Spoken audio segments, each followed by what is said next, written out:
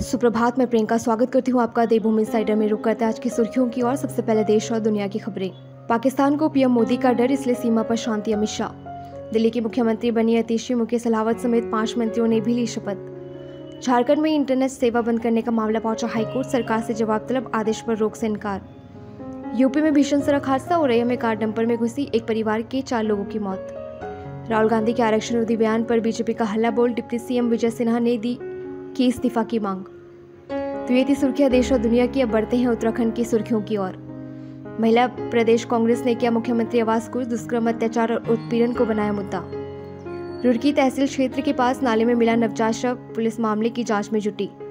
केदारनाथ पैदल मार्ग पर गौरीकुंड और जंगल चिट्ठी के बीच लैंडस्लाइड वैकल्पिक मार्ग से जा रहे तीर्थयात्री प्रदेश में 108 असिस्टेंट प्रोफेसरों को जल्द मिलेगी तैनाती, आयोग ने शासन को सौंपी लिस्ट।